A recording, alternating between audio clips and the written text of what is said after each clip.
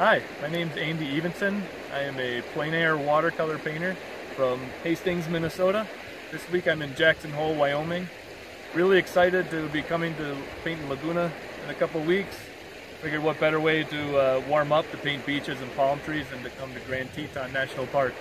But it's beautiful here, the weather's really nice. I'm looking forward to some more nice weather coming up in Laguna.